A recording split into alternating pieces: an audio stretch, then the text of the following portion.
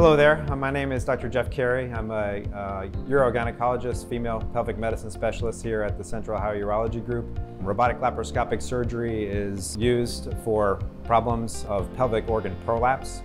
And this is a, a, a common a problem not commonly talked about that results from uh, vaginal deliveries primarily and develops through the years.